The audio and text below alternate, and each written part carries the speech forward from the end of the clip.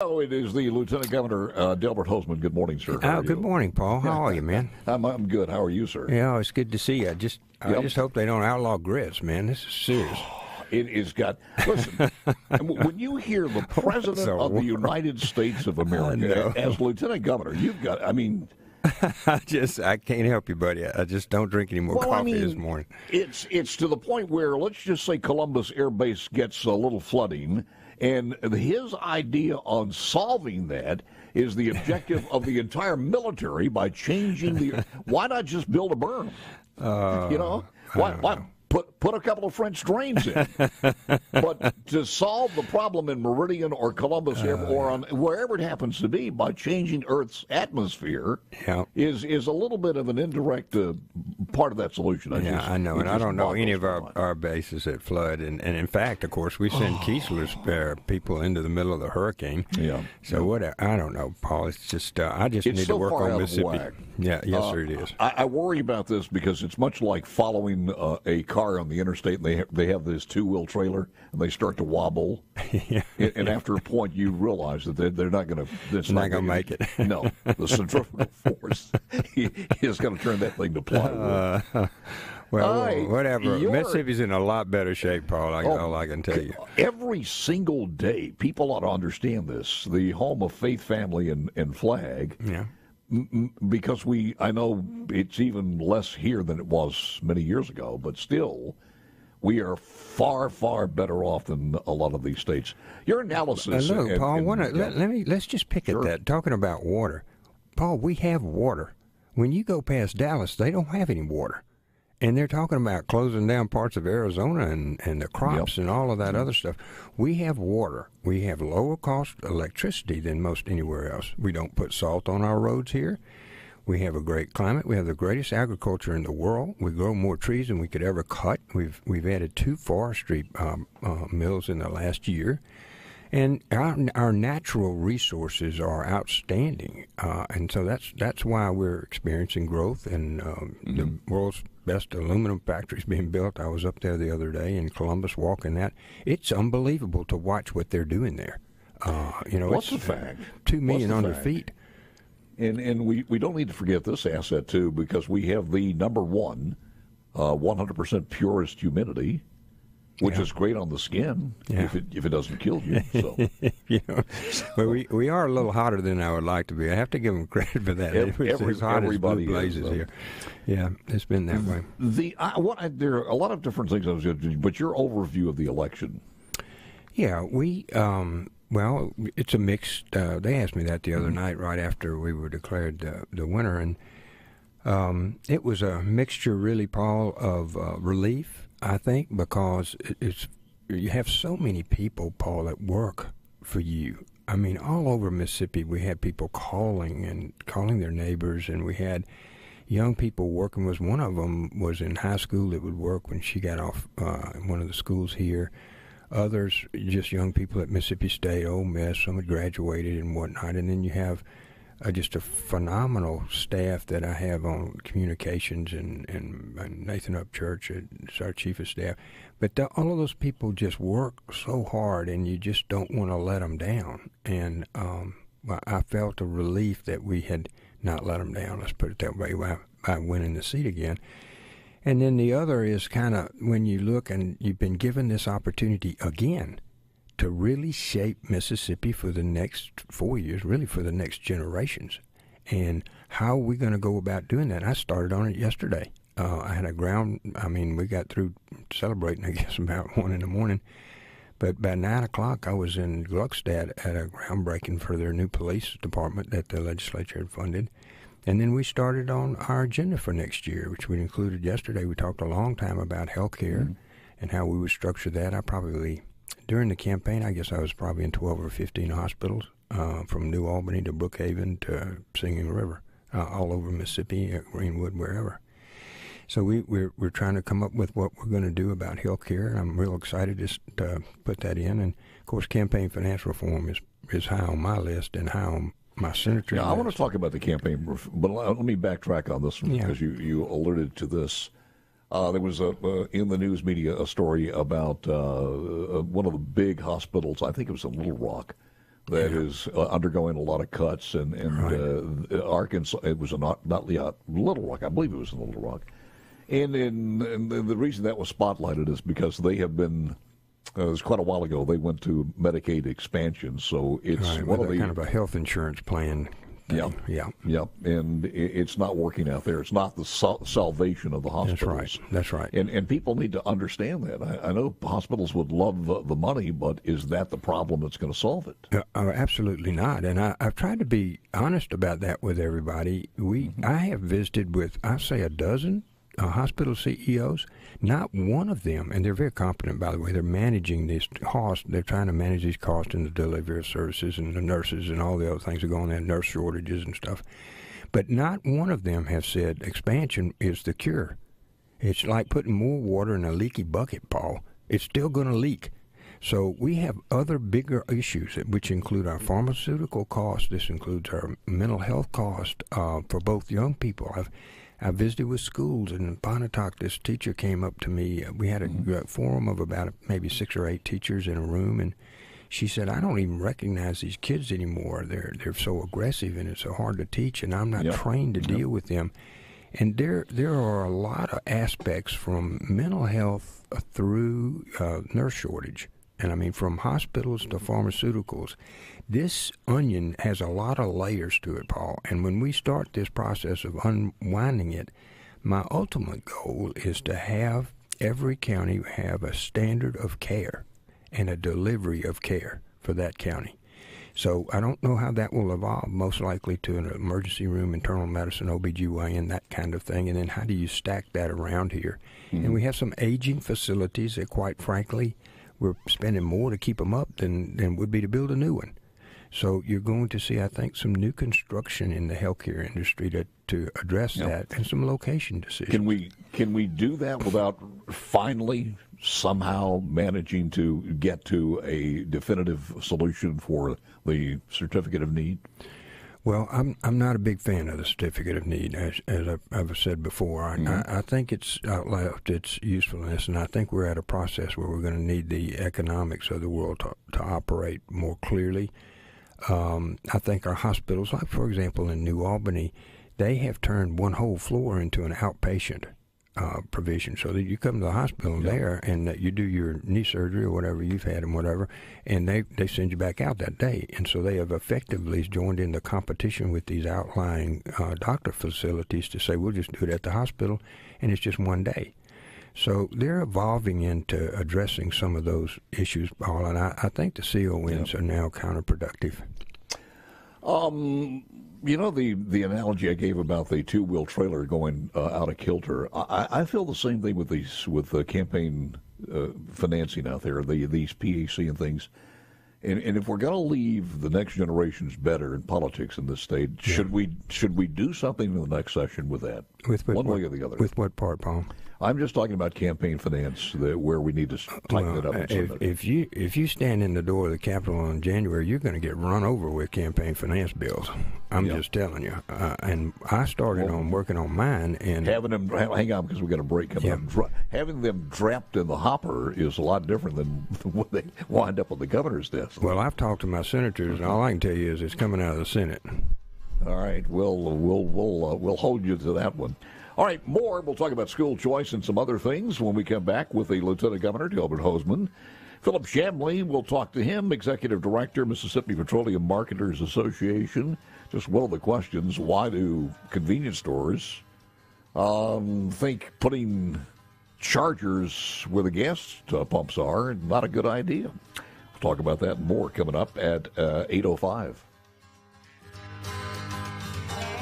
Back with the Lieutenant Governor if if and real quickly because I've got so many other things to put in here. If we were doing what you think would be job one in any of the forthcoming bills that you alluded to, as far as campaign finance reform, what do you think? What area would we solve that problem in? I mean, how would, well, how would that be done? The first is we need to get somebody to enforce them. That's number one. Right Boom. now, we've got like uh, three different people that have some piece of the pie, and then nobody's eating all of it. And I so I'm very concerned about that. Then second, this and, and you know what happened to me and, and to my campaign. There were mm-hmm. eight hundred and eighty five thousand dollars in dark secret money, maybe uh, illegal, maybe criminal. we don't know yet.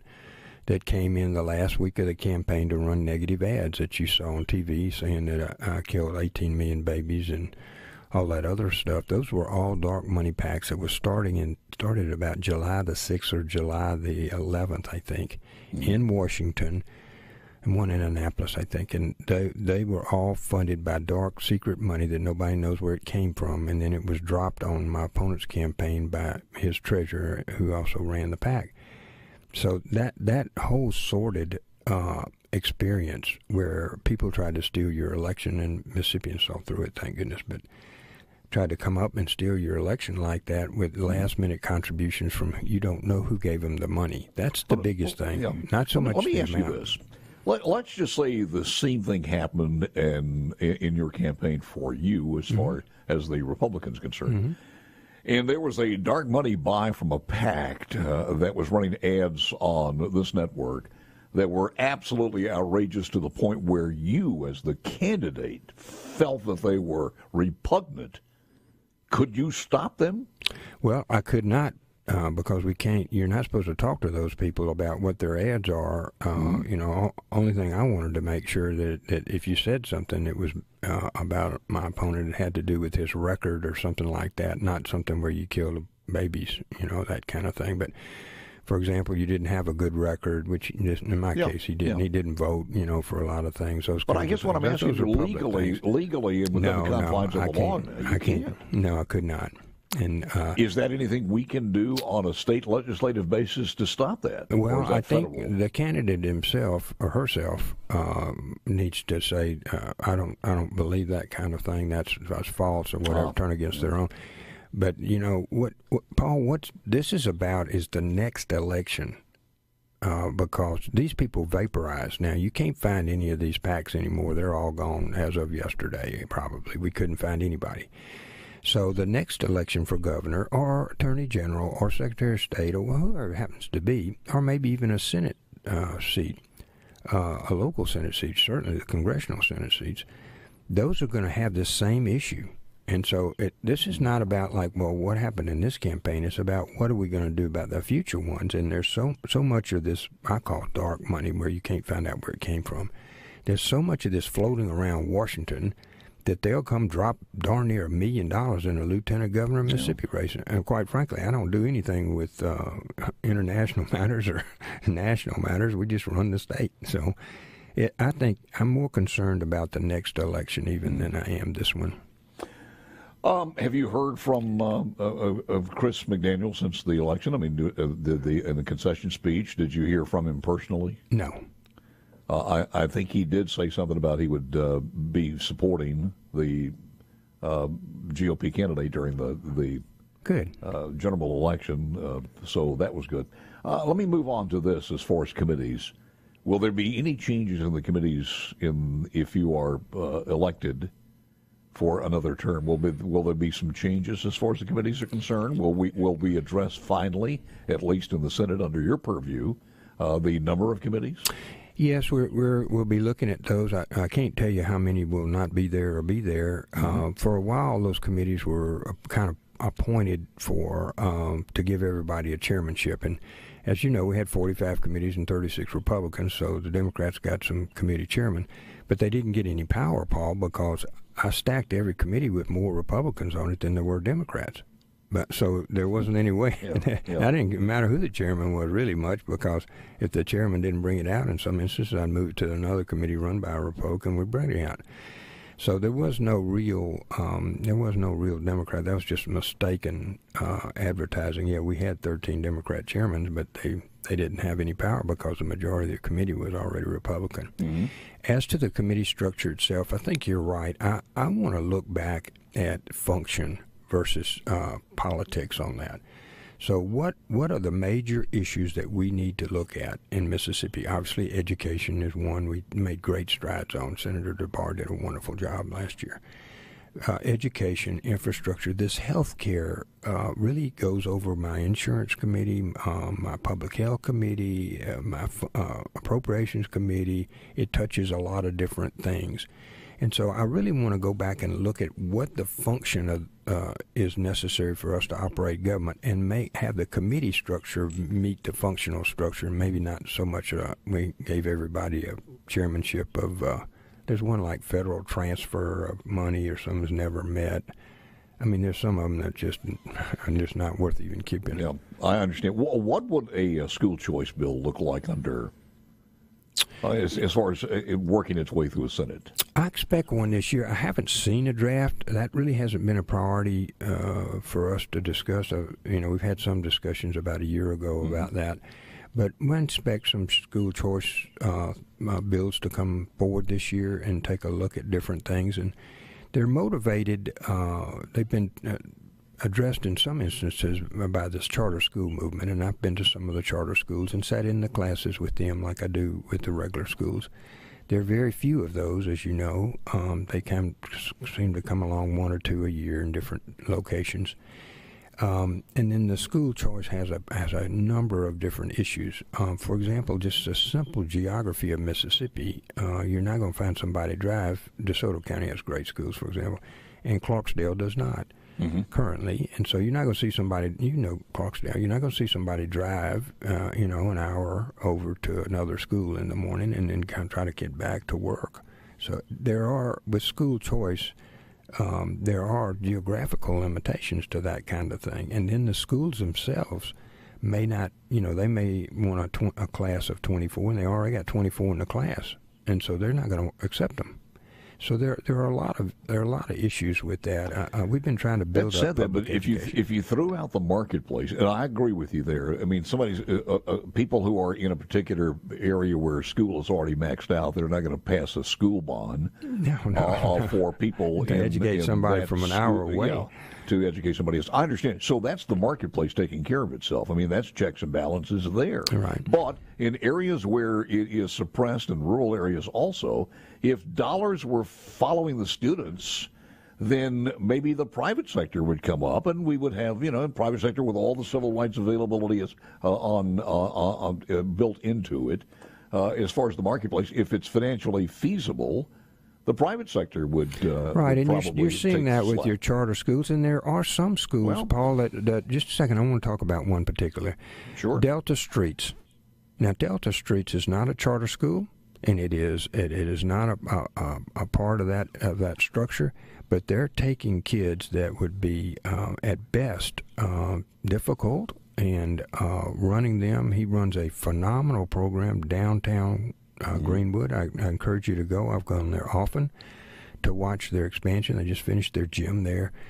And they're they're basically doing what you said. They have taken this one man has made a decision that he's going to take some of the toughest of the tough, and they're they're going to have an education, and they graduate maybe ten, eight or ten or fifteen a year now, and all of them are take, getting yep. jobs and whatnot, and they're not in in any of this network. They're not in in the charter schools or any of this other stuff. So there there are people doing that kind of work out in Mississippi, and particularly in Greenwood.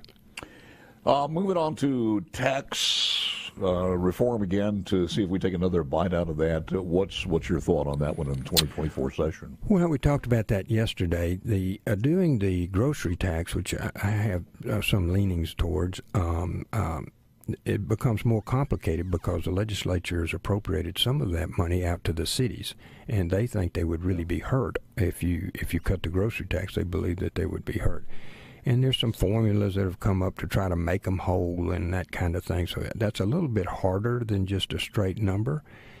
Uh, on the income tax, um, we're set. You know, we're reducing it by three tenths, four tenths, mm-hmm. three tenths to four in three years. The next three years. We, we got a break coming up here, and okay. the, the computer's going to take us away. I'm going to ask. I'm going to ask a real elementary uh, question about that because I've never gotten the answer as far as the uh, grocery tax when we come back to okay. the lieutenant governor. I'm sure he'll be able to answer that. I don't know, Bob. It's, it's, it's been a long next. few months, man. That's, that's, that's a loaded uh, teaser there. Back with Delbert Hosemann, uh, Lieutenant Governor, coming up next. In, in part of that, half of it is from uh, the federal and half of it is from state. Yeah, 18 cents. I, I think the yeah 18, 18 and a half. The, the same thing goes with um, with the grocery tax. Some of it goes back to the municipalities and some of it goes to the state. couldn't that part that goes to the state just be the part, and and that will still keep the uh, the municipalities hold? Yeah, I, I, oh. any any bill that comes out on the grocery tax is not going to shorten the amount that goes to the cities. So mm-hmm. that would that would be a um, an absolute barrier to, to adoption. Uh, the cities really, uh, the cities and the counties uh, really run the state, Paul. It's not run in Jackson. And, you know, I have a good working relationship with our boards of supervisors and our mayors and whatnot like that. We did a Main Street program, which we put, I think, $5 million this year to up, upgrade Main Street around small towns in Mississippi and those need to prosper. That those are places that kids will come home to. Uh, there are places now that we're putting the internet in where you could work there, or you know, work in Seattle or, or work inside, and then you know, it really won't matter. So we're we're really uh, trying to upgrade, I think, and help our small towns survive. And we wouldn't, you would never want to cut their their take of the of the grocery tax. So it's going to come out of the state uh, portion.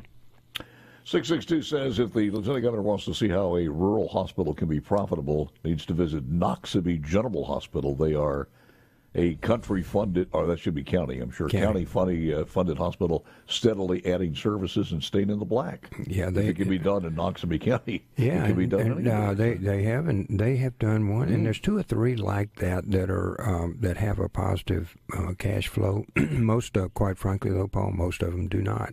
Yep. Uh, you know, when I was in Brookhaven, we walked all of Brookhaven's. About you know, about a third of their rooms are closed because they can't get nurses and whatnot. But they're delivering babies and doing all the things you'd want to do at a small hospital. Mm-hmm.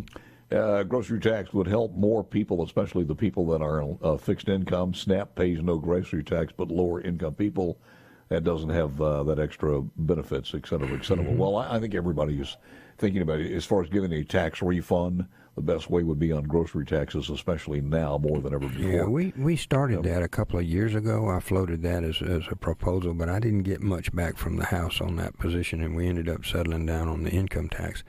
So we got a new House leader this year. Uh, he'll be elected. Once he or she is elected over there, then we'll, we can start these kind of discussions and see what their appetite may be for the grocery tax or continuing to lower the income tax. Um open primary. People were talking about that during all of the yeah. heat of this election. I, I don't know how an open primary would work. It to me, it's just looking at it, it's a little socialist, but you, are putting everybody in there, lumping them in, and yeah. I mean, you could have two two Republicans, could you not? You, you do, and in Louisiana that happens. And uh, somebody asked me about that the other day, and um, I said, "Well, who's opposed to it?" And I said, "Well, the Democrat Party and the Republican Party, but uh, other than that, it's fine." True. Oh, by the way, any comment on and and I think he's being scheduled on here, both of them. Mm-hmm uh, and to me, it just makes me smile to see Rodney Hall, a uh, the legislative legislator elect up in the uh, northern part of the state. I think DeSoto County, uh, African American gentleman. Mm-hmm. Did, did I get his name right? I, I, don't know. I was following and, a, another race. And also, and also Thomas Tuggle, and, and Thomas, we know, of course, yeah, uh, first uh, black sheriff, and, and since eighteen something, uh, and also a Republican. So yeah, here really we have two two Republicans uh, um, um, who have been. I mean, and I think I don't even think it was close. No, and I uh, Thomas Tuggle was down here forever and, and ran Meloto, yes. the trooper school yes. and everything. Which I think is an outstanding person. I've known him probably 25 years, and I, I think that's a great hire up there. Uh, the other, I'm sure the other gentleman was good too, but I, I, I know Tuggle uh, personally, and I'm really excited about his about his mm-hmm. election there. You know, we, we have a big tent like Haley tried to do all these years. We have a big tent, so we, we have people that I mean, if you believe in working and and, and raising your family and, and educating children and uh, all those kind of and, and having your government run well, that that should not be any issue. But as to color, creed, national origin, or whatever, you know, we just we need to have our progress, and I I think you know obviously we're going to be controlled by Republicans, and that's our that's where our compass is, and my compass will be. But we we have room for others to join us, and we love to have people join us as Republicans, no matter where they came from. Any final thoughts, sir? Well, Paul, um, I'm glad the election is over. I'll tell you that, uh, and most everybody I think is. Uh, we're sick of seeing those kinds of stuff. But I don't want to lose focus of the fact that we're in the best financial condition we have ever been in in the history of Mississippi.